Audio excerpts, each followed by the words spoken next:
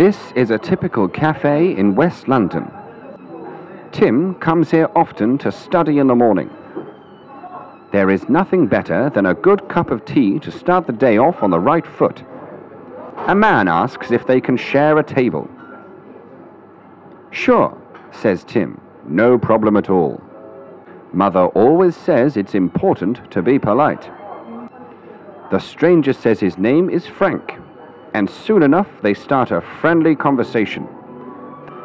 Frank seems to have a great sense of humor, and it doesn't take long before he wins Tim's confidence.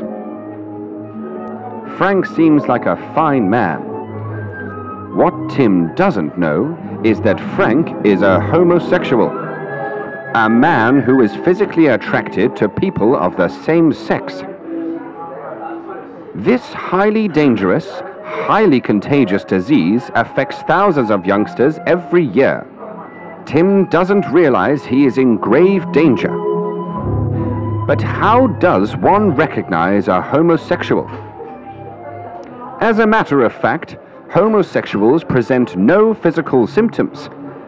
They may look normal and healthy, but don't be deceived. If a man dresses too smartly or cares too much about the latest trend, he may be a homosexual.